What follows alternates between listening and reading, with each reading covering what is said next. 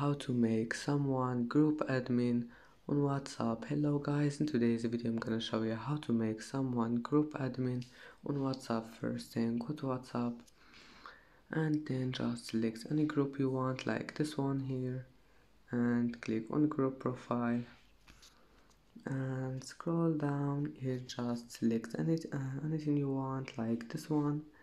Uh, just click on it and then all you need to do is just click make uh, make group admin. And that's it as you see. And uh, that's how to make uh, someone group admin uh, on whatsapp. And that's it for today's video. If you like this video don't forget like and subscribe. And thank you for watching this video. Until the end and uh, see you in the next video